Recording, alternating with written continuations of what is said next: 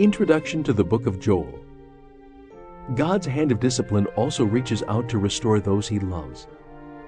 God's prophet Joel warned those living in the southern kingdom of Judah to return to God before even greater discipline and judgment befell them.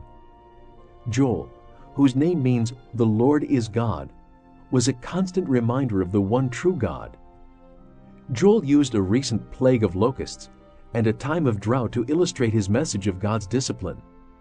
He spoke of coming judgment with the phrase, the day of the Lord, which had meaning both for the people in his day and for a future time of judgment.